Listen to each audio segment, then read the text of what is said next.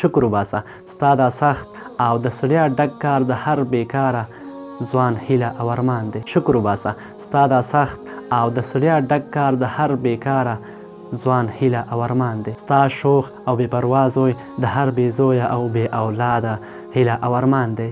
ستا دا وړوکی او ساده کور د هر بې کور او بې سرپناه هیله او ارمان دی.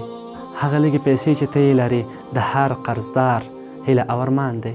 هغه روغتیا او سلامتیا چې ته یې لرې د هر ناروغ هیله او ارمان دی. هغه موسکا چې ته یې په شونډو لرې د هر یو غمجن او پرېشانه هیله او ارمان دی. بې غمه خوب کوې، په کور کې یې د کور د غړو سره خوراک، څښاک کوې،